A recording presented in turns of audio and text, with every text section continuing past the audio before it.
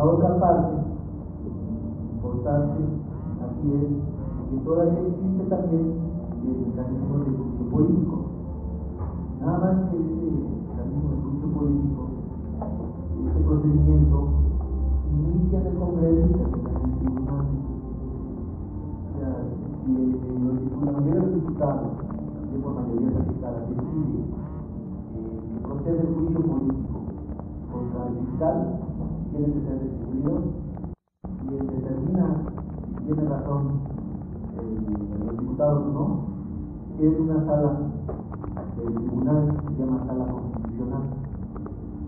¿Qué temor tenemos de que el actual presidente del tribunal este, radique en esa sala a magistrados que pudieran estar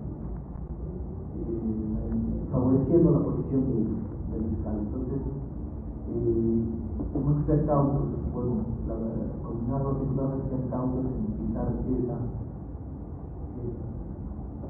¿Qué estamos haciendo?